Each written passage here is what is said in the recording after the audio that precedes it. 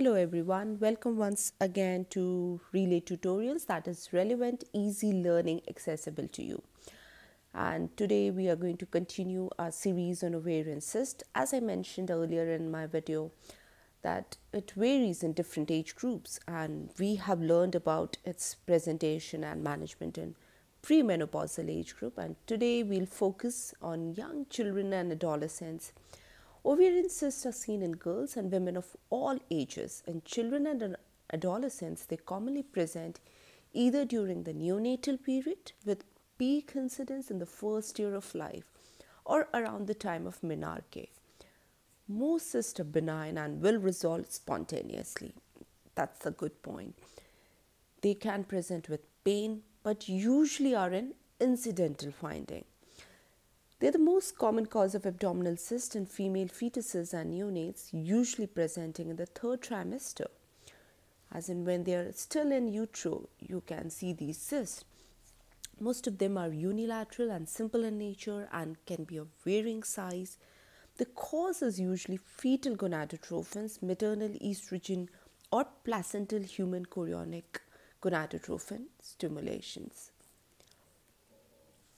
Most ovarian cysts in children and adolescents are benign in nature, right? With 60% being functional or also called as simple cyst.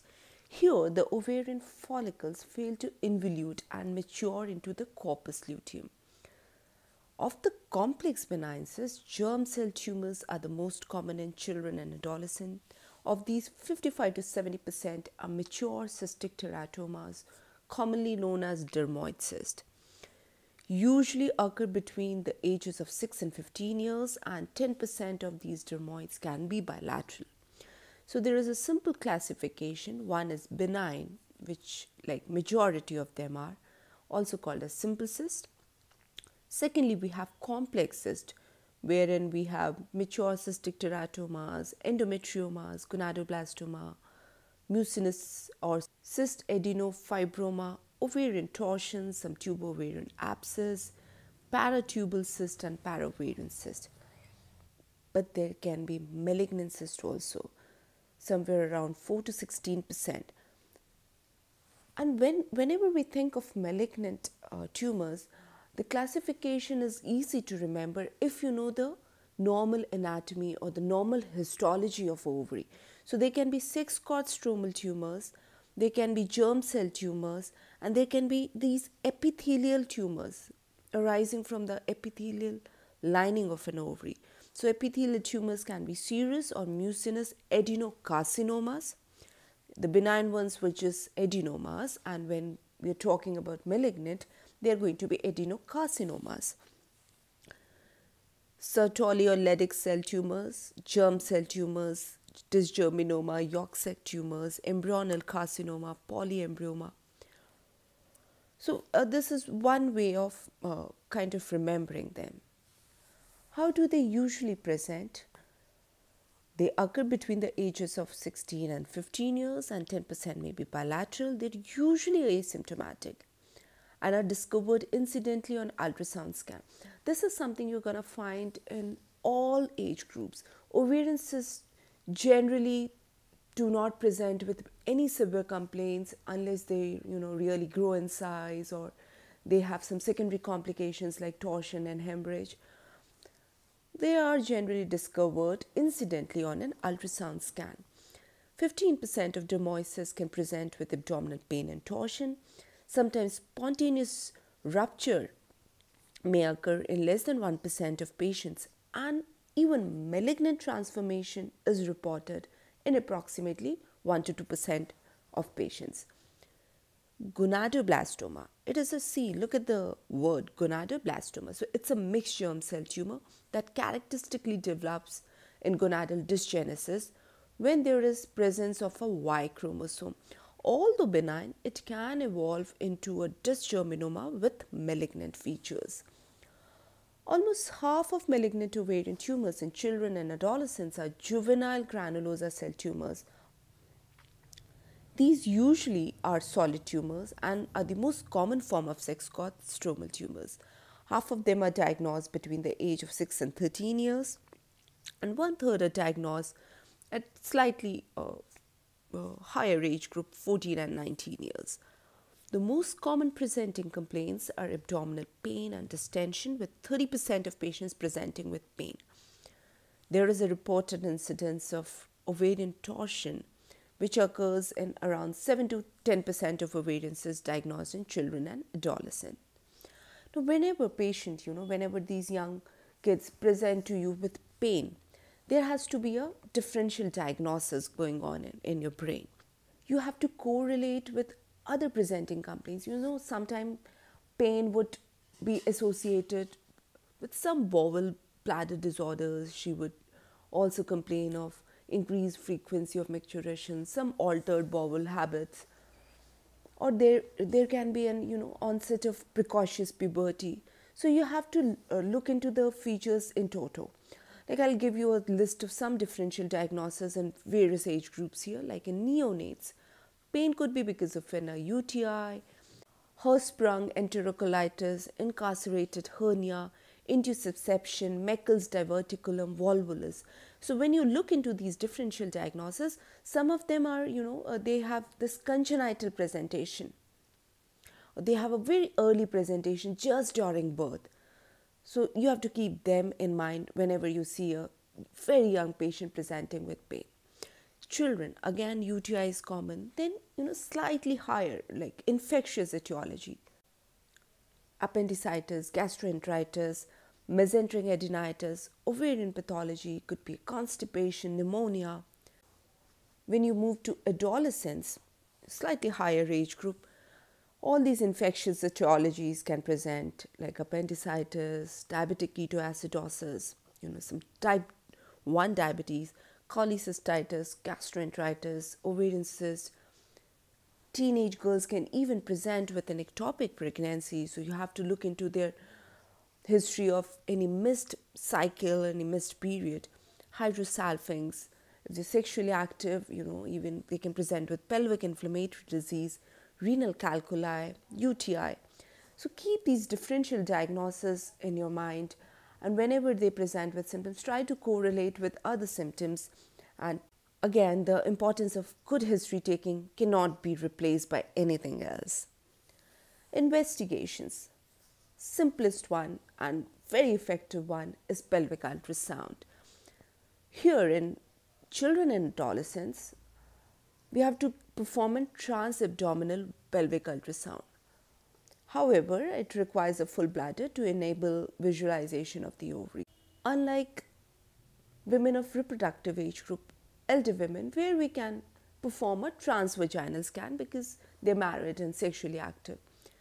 Ultrasound is helpful for differentiating benign and malignant lesions by applying the International Ovarian Tumor Analysis classification. I discussed this in my previous video. If a complex ovarian cyst is diagnosed on an ultrasound scan, MRI of the pelvis can be requested, which provides good soft tissue delineation. However, young children often require sedation because of the length of the examination. Other tests would include full blood count, C-reactive protein, which can be raised in presence of ovarian torsion. Not always, sometimes. Tumor markers, we are going to uh, discuss a list of them urine dipstick just to rule out UTI, and when indicated, even endocervical swabs for pelvic infection. If there are any signs of precocious puberty, a hormonal profile should also be performed, which includes FSH, LH, serum estradiol, and thyroid function. This we discussed in previous video also. I'll just quickly go through it. B rules and M rules. B stands for benign and M stands for malignant. Simple. So when there are unilocular cysts, presence of acoustic shadowing, there are solid components, but the, even the largest one is less than 7 mm. Smooth multilocular tumor with largest diameter less than 100 mm or 10 cm, and there is no blood flow on putting the Doppler. Favor of benign lesion. If it's an irregular solid tumors, presence of ascites, there are at least four papillary structures, irregular multilocular solid tumors. See, there it was smooth, but here it's irregular, multilocular with largest diameter more than 10 centimeter or 100 millimeters and very strong blood flow on Doppler. It goes in favor of malignancy. It's very logical and it's very easy to remember also.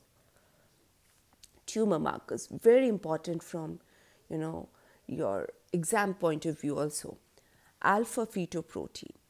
So it is raised in immature teratoma, Sertoli Leydig cell tumors, yolk sac tumors, embryonal carcinomas. Human chorionic gonadotrophin or HCG, it is raised in dysgerminoma and embryonal carcinoma. Then there is LDH or lactate dehydrogenase, which is ra again raised in dysgerminoma and immature teratoma. Cancer antigen 125 or CA125 this is very easy to remember. It is raised in epithelial tumors, though there are a lot of benign conditions where you can have slightly raised cancer antigen 125, but specifically raised to a greater level in epithelial tumors. CEA or chorionic embryonic antigen is also raised in epithelial tumors. Serum estradiol, juvenile granulosa tumors. It's easy to remember granulosa tumors, they secrete estrogen so estradiol is raised in that. Again, Sertoli Leydig tumors, obviously they can they release testosterone, so it will be raised. So some of them are very easy to remember. Rest, you know, you can make some mnemonic out of it. How do we manage?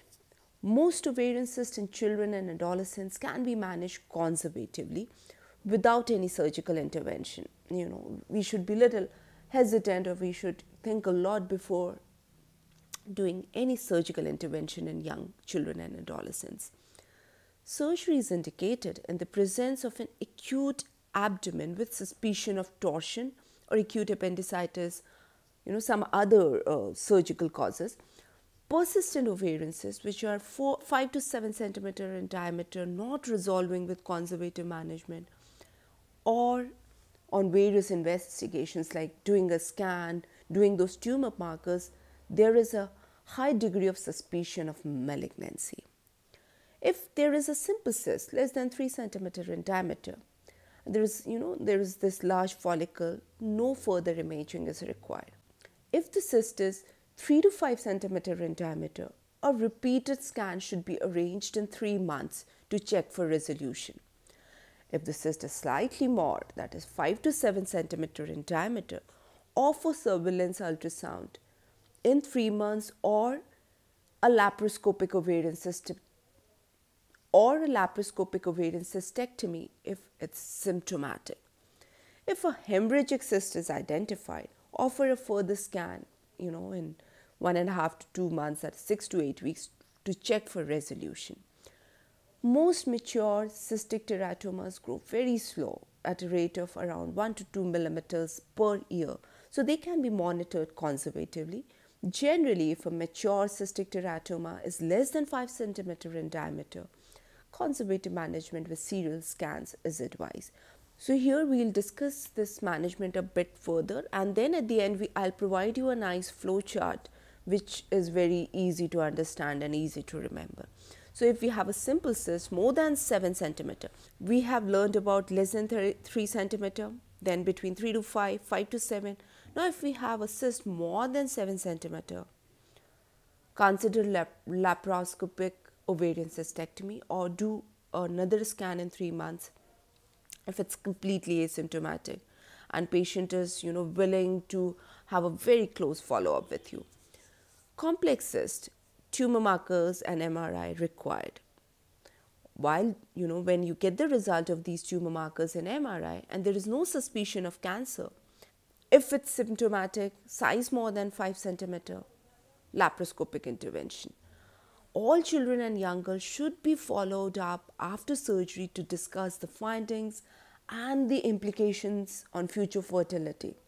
You know, it is very important what impact can it have on their reproductive life. If there is a suspicion of cancer, refer to gynecology and oncology MDT.